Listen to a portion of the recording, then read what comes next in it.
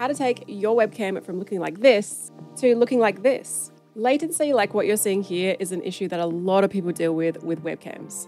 Do not ever plug a webcam into an extension or a USB hub. Make sure it's plugged directly into your PC with a supplied cable in a compatible port. For the Elgato Facecam, for example, you want at least a USB 3.0 for best results.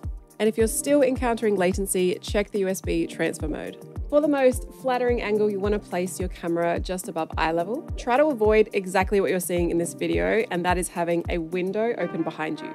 For lighting, I personally find that one light either side of you diagonally is the most flattering, but if you only have a single light to work with, place it directly behind the camera. If your lights allow, you want to set the white balance on your lights to something that makes your skin tone look as true to life as possible. Between the previous shot and now, I've turned all the settings to automatic and I've turned my two key lights on 13%. I also changed my USB transfer mode to ensure there's no latency. If you're streaming out or recording in 60 frames per second, you want your shutter speed to be 1 160th of a second or 1 120th. A faster shutter speed means you will need to compensate with a higher ISO, and ideally you have the lowest ISO possible without it being too dark. Your white balance setting should be whatever is closest to your natural skin tone, and this should be pretty close to what your lights are set at too. If you have coloured lighting in your room like I do on this side, you'll probably notice some light spill, but I personally don't mind it. And this is the end result with the Elgato Facecam.